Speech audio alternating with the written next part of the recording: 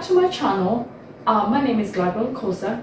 Uh, in today's uh, video, I am going to show you how to make the perfect roast uh, potatoes. Uh, mine I usually I make with uh, goose fat, but you can use any oil that you want to. Um, I will also be using garlic and rosemary to spice up. And of course you need salt and pepper. So at the moment, uh, we just need to parboil the potatoes.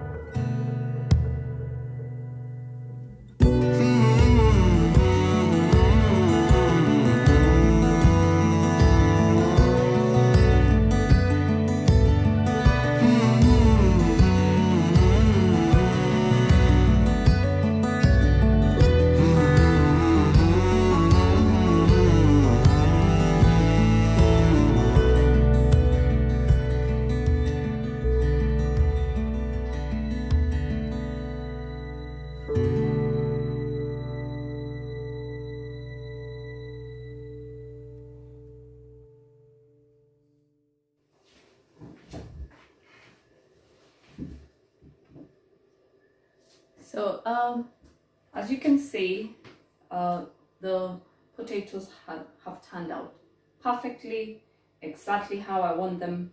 You can see they are very uh, crispy outside and fluffy inside. You can see they are just the perfect um, way you want them. They are quite crunchy. That's how you want your roast potatoes to look like.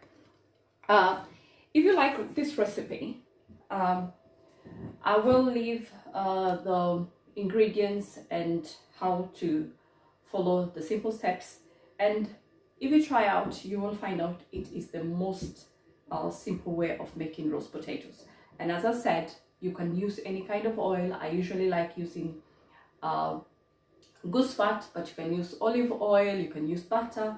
But I guarantee you if you follow my way you will find it is very easy to make. Um, other than that I wish you all the best and I hope to see you in the next one.